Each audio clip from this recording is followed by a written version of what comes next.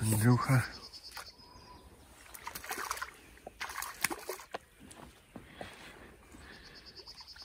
И рыба рыбатука джоблес. Джоблес. Еее. Добре так.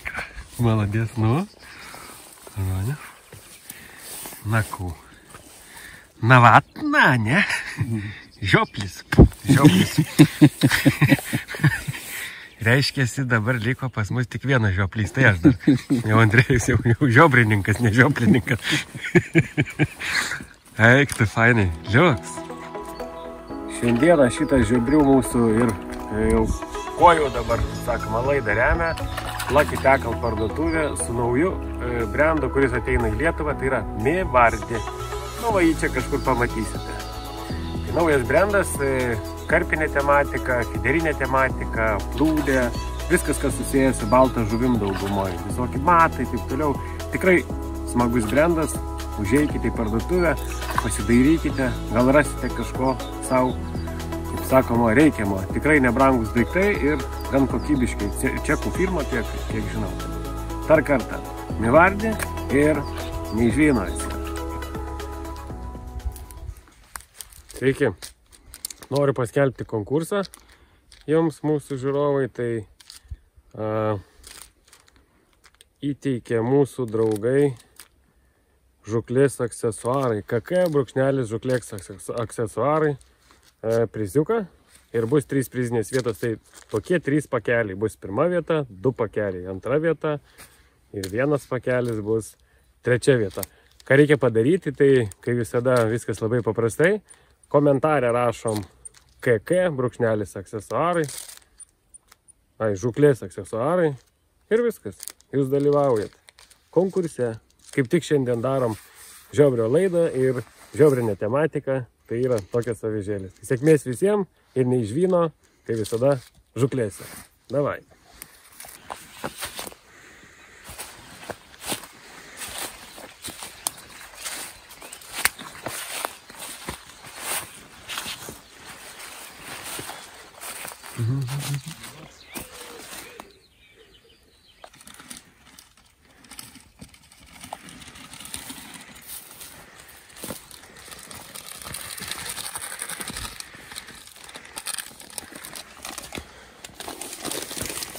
Kas čia per pašarai? Kailiukas. Kailius.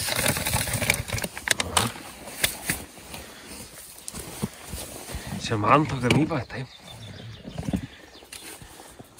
Jisai čia su kažkuo padarė. Va, atspėkit, ką mes gaudysim, kada matote tokį pašarą. Ir kada esam prie upės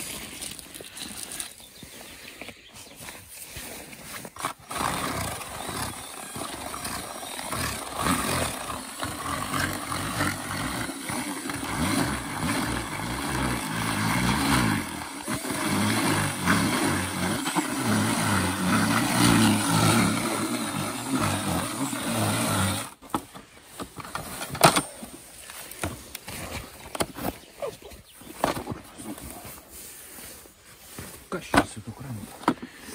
Status krantas, nu.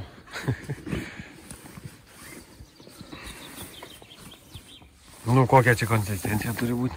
Dar pirmas dirkinimas. Dabar kiek laiko paliekam? O kol ruošiamas, tada dirkinsim. Gerai.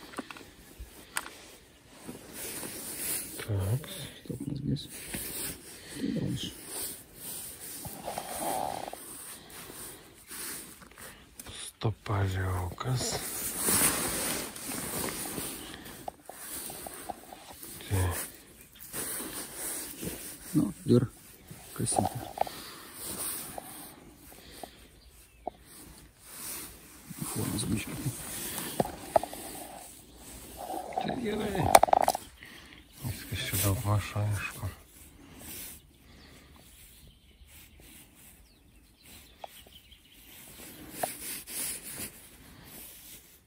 Ir aštunkė, ne? Ne, ir dvigubas mazgas, nes būna, kad stop mazgis praeina per viengubą mazgą. Tai ir šį dvigubą. Tiesiog vienas. Vienas ir antras. Paprastą mazgą. Seilinam.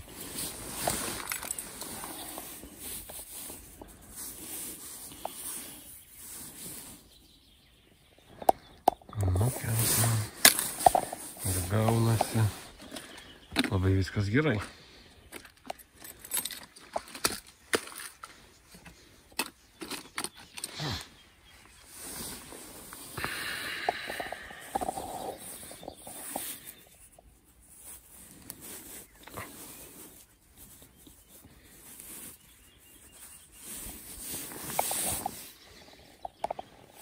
Nuk. Sistemytė. Paprasta. Nu, va, tas turi būti lygiai ar biški žemiau širiklos kilpo apatinė. Mhm. Nu ir liuks. Palauk, Ir Viskas čia pavadį. Kabinsim ir žavausim. Va, dabar kartu fotkime. Va, jis atsipa. Filmuojama štai, kad matytis. O. Tokia vat sistema. Nu ką. Iš pradžių buvo žeplys, dabar kojotė įdėjot. Ate. Vienu žodžiu gaunu malkų 2-0, bet pas mane buvo 3 kibimai. Bet nepakirtau kažkodėl. Gali būti irgi galva tokios nuostabiosios kojotės. matysim, matysim, kas čia bus. Kažkas pradeda pabiški kipt, gal ant pašaro ateina. Penki dzikai, metimai netolimi. Tik srovė, kaip sakoma, sugreitėja ir į ten.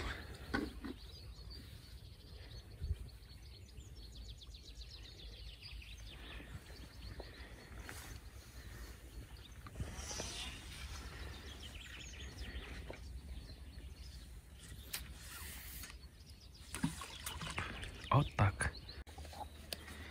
Va. Andrėjus visą laiką praplauna dzikus, nes dzikai, jeigu perkat litrais, dideliais kiekiais, kada, kada jie yra jų daug, nepamirškit, kad jisai, jisai iš savęs skleidžia amoniako. Nu, toks yra kvapas, kai amoniako jis smirda.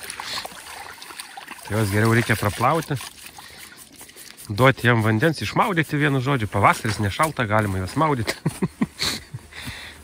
ir tada bus gerai. Tai va. Ką, į pašarą dėsim kažkiek?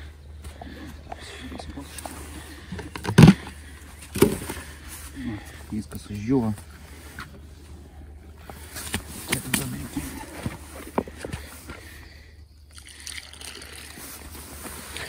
Bet va ta konsistencija, kokia mes turime.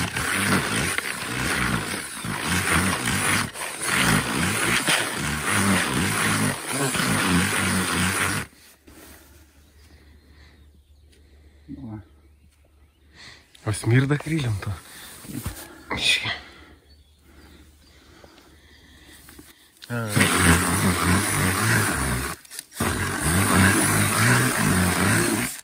Grini vėžiagyviai.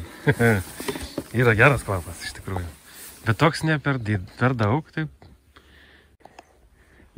Šitas berniokas duoda vaizdų.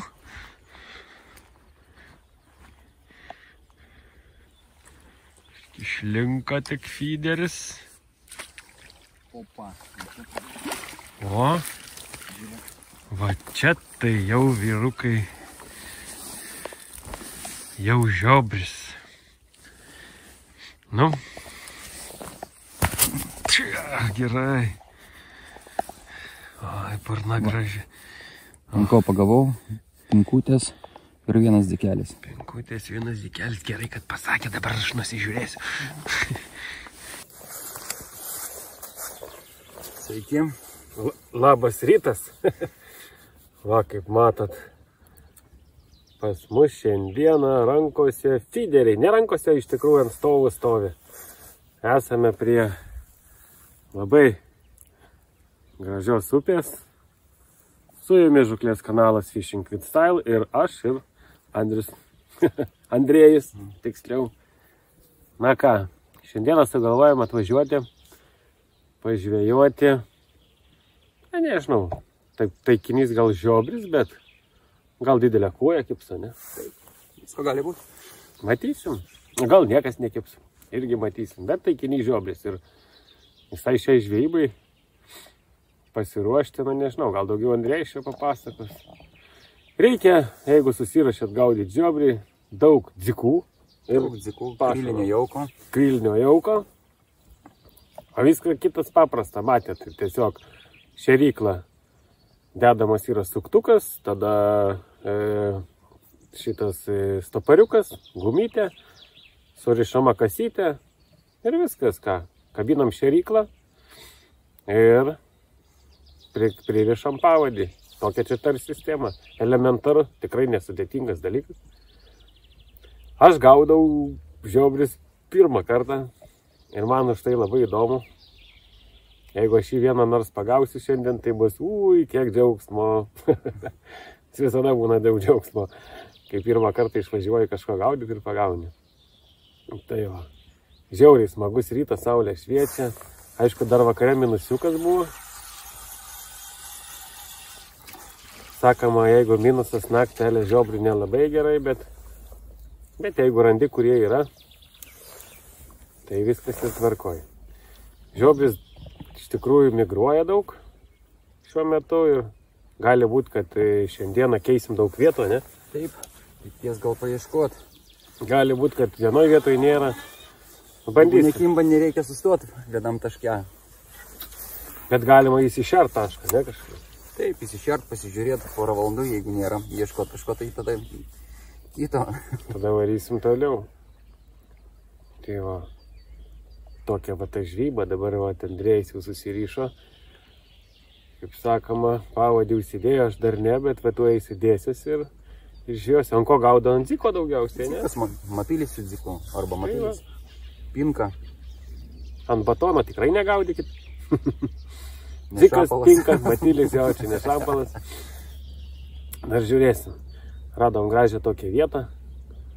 Srovė ir iš srovės išeina toks sukūriukai tokie. Sulėtėjimas tiekmės.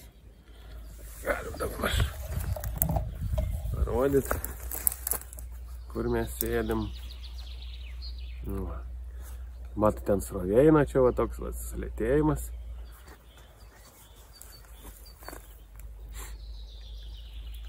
Bandom, bandom, žiūrėsim. O kas, kaip sako, bando tam pasiseka. Matysim. Čia mano vietelė.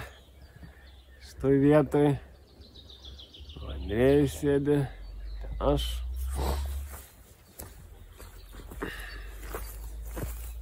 Kol kas labai gerai kimba. Niekas nekimba. Na, parodysim, kaip mes čia sėdim. Sačiokas. Įrangos čia kažkokios įspūdingos nereikia. Fideris. Šeriklą kabinam pa, pa, pagal srovę, kad, kad neneštų. 7-8, gal ir 100 gramų gali būti reikalinga. Ir dabar reikia išduoti, kur mes čia žvėjojame, ne? Kokia čia upė vadinasi? Mimėlė. Memėlė, memėlė. tai va, man atrodo supratote, ne? Normalus čia pavadinimas. Tik M dadėkit prieki memėlė. Ne, čia yra latviškas pavadinimas. Tai va. Va. Įsiverskit, kas Latvija yra memėlio ir žinosit, kad tai yra nemunėlis. tai va. Graži vieta. Sakoma, startuojam. Žiūrėsim. Jeigu kažkas užkips, tai užkips. A ką čia daugiau pripasakosiu? Pasidarykit pašarą, krylis geriau. Kaip sakoma, kad būtų. Tokias mirduko šiek tiek reikia. kabliukai. Čia reikia pagal žuvį taikyti. 14, 16, ne? 12. Nu, reikia užaisti. Čia jau žaidimas. Pavadėlį ilgis irgi jo. Andrėjus gal ilgesnį pavadėlį susirišo, aš gal pabandysiu trumpesnį, pažiūrėsim, pasižaisim. Gal kažką atrasim. Tai va. Tiek žinių, varom žuot. Ir štai pasaulio čempionas. Vėl veiksime.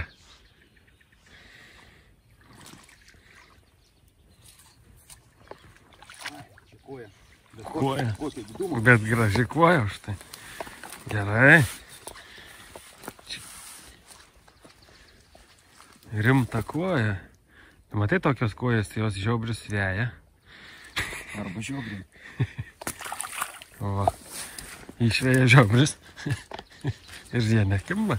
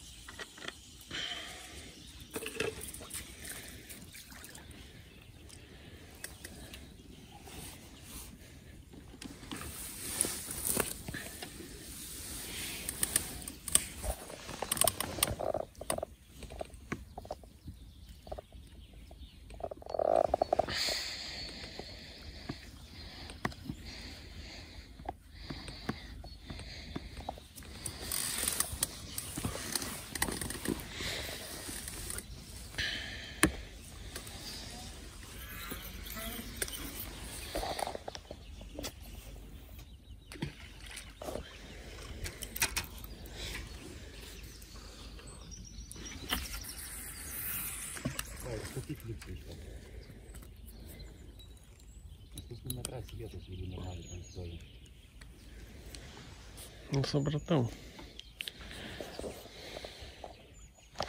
Užmeti, klipsas. Ir jeigu vieta gera, viskas čeki. Jeigu ne, klipsą naujami, toliau ieškai. Reiks susirast švarų, gražų dugną, kad nebūtų klevinių. Nes šiandien neblogai pavarė mane jau.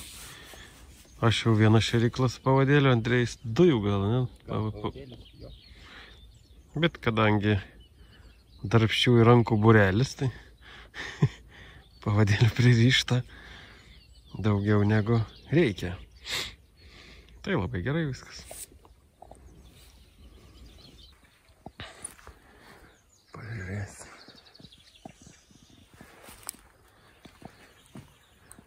Prašom papasakot, kas čia jums užkybo.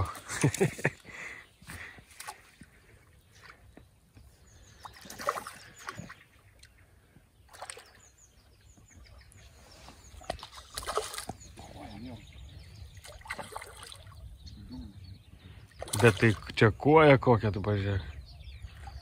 Kosminė. Užžiobris didesnė. Gerulė koja. Nu, Eik tu su pažiūrėk kokia. Kosmonautinė. Nu.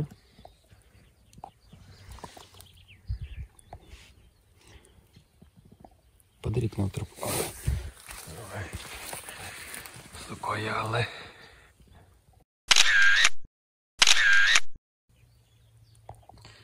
Gerai.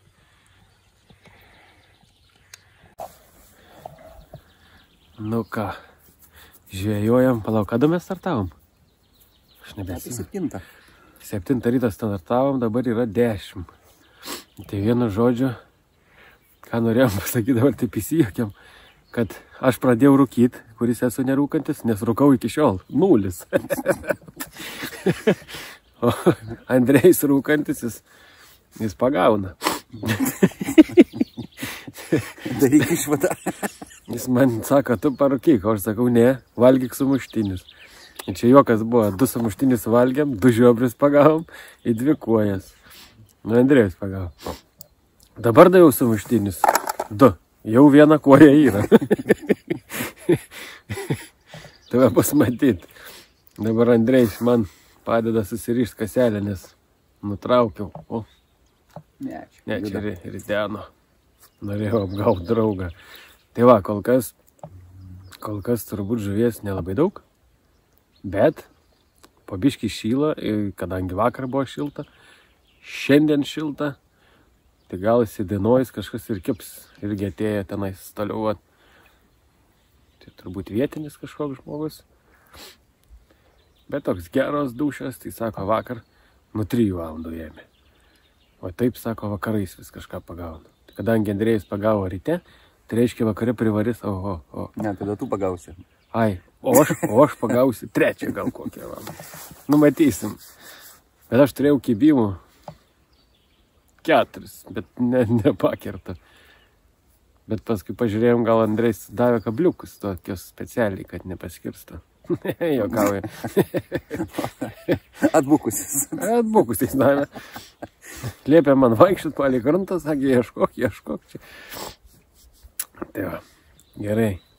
Žiūrėjom toliau, žiūrėsim, kas čia bus. Bet taip aš, va, jeigu taip gaudysiu, tai ir toliau rūkysiu turbūt. Su kamerom.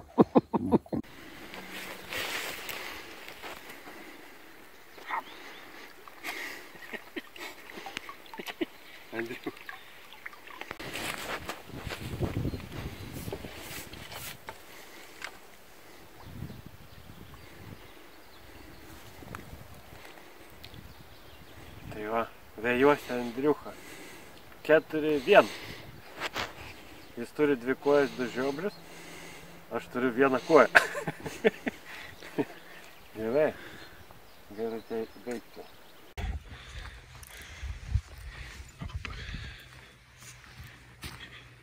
Jums papats. Žaisa. Nu, blūdytė, žiūrėk.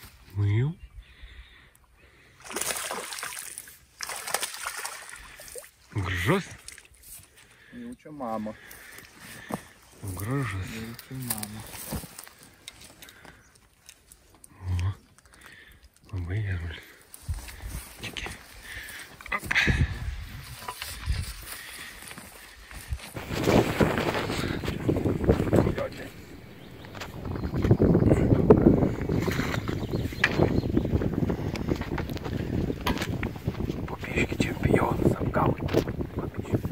До Севьем.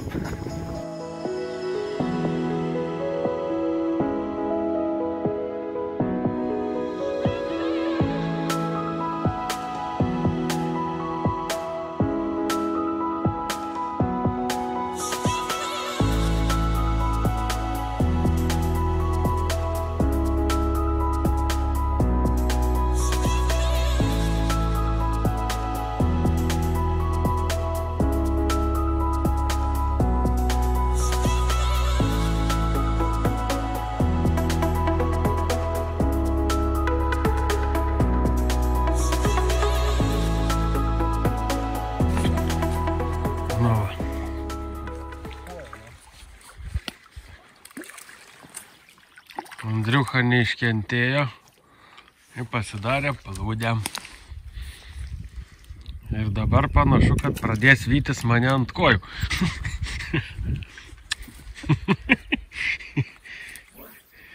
Jo, plūdė vis tiek veikia.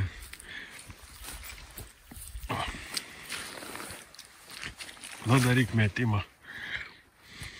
Pažiūrėsim, kaip čia dirbi.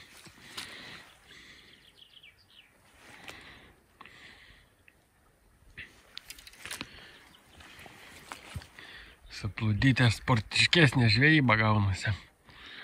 Neslankianti plūdė, va. O.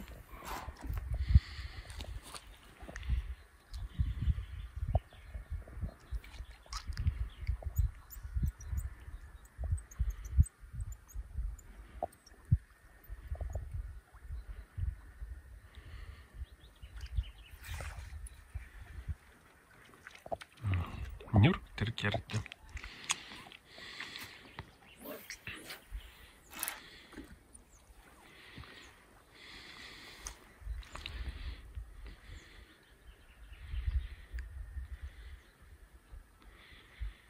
Kartais taip geriau kimba, kartais ant fiderio.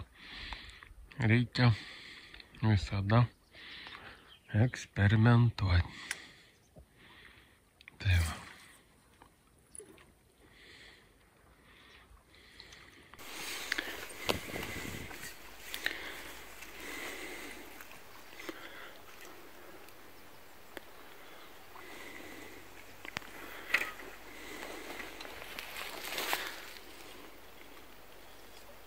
Pagaliau aš ne žioplis, o irgi jau žiobrininkas. Gerai. Žiobris? Ar koja? Koja. Nu, šitą, šitą koją galima skaityti kaip žiobrį. čia, čia jau gera. Jau ką tu ką tu. Žiūrėkit. Vakas mūsų dzikus ėda. Kaip karvė. Didžiulė. Galvojom žiobrys, bet. Bet dar ne vakar. Andrėjais kala toliau. Žiobriokus. Į vakarą iššilo ir gan smagiai pradėjo čia kabuliotis. Žolį. Nu, pasirodom pasi... A, piktas, a, piktas.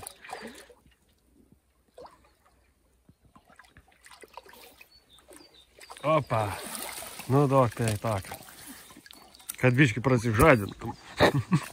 Andrėjs pavargęs, anksti kėlėmės, jis toks buvo primygęs, bet pririšom ko prie kojos valą. Tai prisikėlė, va, kai kimba žiobė. Nu, baronė. Gražuolis. Liuks. Andrėjus pagavo Auksinė. šitą karalienę. Pabučiuok ir jinai pavirs į princesę. O gražiai kokie balerinai įsiskėtus. Pagavai paleis, vadinasi. Ar laimingas laimikė? Maladėt.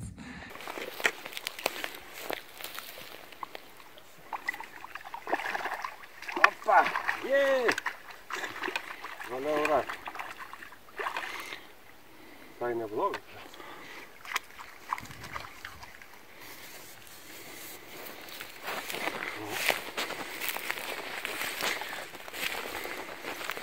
Žiūrėk, ir atsikabinu. Ja, fainai. Kaip čia? užkabinau. O, uždėjau kablalį. Aštuntą numerio. Ant vakarą pradėjom uždžiuginti, iš tikrųjų smagiai. Pasigaunam vieną kitą, vieną kitą. Ir labiausiai, kai eini, ką nors veikti, tada kimba. Tai va, gerai, žvauju toliau. Nėra ko laikas, laikas spaudžia, reikia žvauti. Na ką, žvejyba baigta, patenkintas Andrės. Jo, aš galvoju, kaip pirmą e, žiobrių žvejybą tai gavosi tikrai gera. Jo, bai. Buvo kombinuota žvejyba ir plūdinė plūdinės. ir dugninė. Ir dugninės. Pagaudėm gražių kojų, gražių žiobrių. Tai va, aišku, dar nedaug jų yra, nes dar šalta, bet turėtų greitai pajudėti. Turėtų, turėtų. Nu, iš ryto buvo rezumė paprasta, kad um, iš ryto sunkiai buvo apskritai su kibimu. Paskui kažkaip man pavyko pasistatyti kojų. Nu, gal čia naujoko sėkmė. Bet e, Andrėjus, kada, ai, atėjo vat kolega, mat už mūsų, matote ten tolimais. Jisai atėjo su plūdinė ir pagavo žiobrį ir koją. Tada Andrėjus susirišo plūdinę. Paprasta sistema. Plūdė, šviniukai, pavadys. Prie, prieš tai aš jau buvau pagavęs jau keturis žiobrius, atrodo, ir kojų irgi. Nu, Tai buvo ir su dugninė, bet tas kibimas buvo toks jisai keistas. Bet gavosi esmė, kad su plūdinė tikrai pramušė man kojų. Žiauriai daug kojų, Ir labai didelės kojos. bet jos kybo nepaprastai. Aš sėdžiu su dugninė šeriu ir tada kimba koja. Tik tikslingai, ne? Nu, Nustoji šleif, šert. šleifas eina. Nustojom šert, dinksta koja. Nu, Tai čia tokia bendra gavosi žvejyba, ben- bendra pagalba viens kitam. Paskui pasikeitėm, aš suplūdė pagaudžiau. Ir paskui Esmė visa paprasta. Vakaras, išlindo saulė, iššilo gerai oras, tikrai sujudėjo žebrys, ant vakarinio pasigavo ir, ir ant dugninės pradėjo kipti, ir kolega pagavo šalimais, ir mes pagavom. Pasigavom tikrai po normą. Labai smagiai. Man kaip pirmam kartui aš patenkintai, žebrys pagautas, tikslas pasiektas, tai čia Aš tau žadėjau, kad pagausi. Taip, teisingai. Tai va, kas, kas mane visi, tai mane gal žinot, Maris, o šalia manęs dar kartą pristatysiu Andrėjus, jisai iš, yra iš Anglingos parduotuvės, yra pardavėjas, žuklės ekspertas, tai Vilniuje Anglinga, kokio adresu yra? E, Kalvarijų 168. Tai va, visada, Gali jeigu ką- užsukti, užsukti pasiklausti, kažko tikrai patars, žmogus tikrai daug žinantis, e, kas liečia feederį, seliaus, kaip matėt, gaudo, bet kas liečia feederį ir, ir, ir plūdę, tai tai yra Ir žmogus, Tas piningas irgi. tai yra žmogus tikrai daug nusimanantis. jau. Spiningais irgi, bet turės jisai įrodyti dar, Nieko. Ateis sezonas. kaip tenka. Tai va, tai ačiū, kad žiūrėjot, tikiuosi laidelė patiko, prenumeruokit mūsų kanalą, kam patiko, aišku, spauskit laiką. Ir jeigu kažkokių turit pastebėjimų ar kažką, galim visada padiskutuoti, gal kažkas moka kažką geriau, rašykit, pasitarsim, gal išbandysim, jeigu kažkas kažko norit paklausti, klauskit, jeigu tikrai žinosim, atsakysim. Tai kol kas tiek ir iki sekančių žvejybų. Ate ką mes norime padaryti, tai paskelbti konkurso pabaigą. Pukutis, pukutis.com buvo pas mus e, galima laimėti tris prizus, tris termosus ir ką, skelbiam nugalėtojus. Taigi, trečios vietos nugalėtojas yra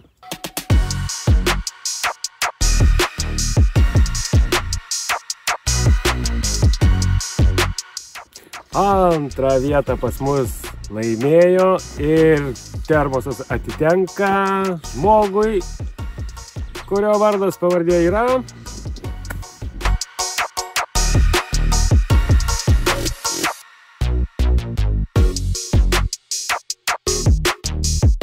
Ir pirmą vietą laimėjo žmogus.